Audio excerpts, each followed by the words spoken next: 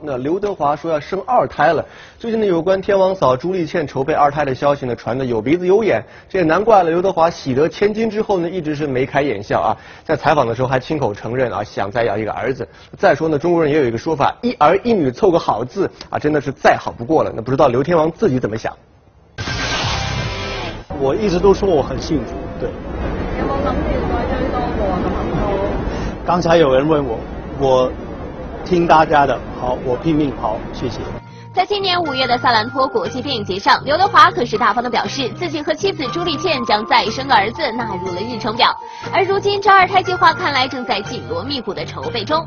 近日，现年四十七岁的天王嫂朱丽倩被媒体拍到前往某知名中医诊所求医问药，调理身体，为第二胎做足准备。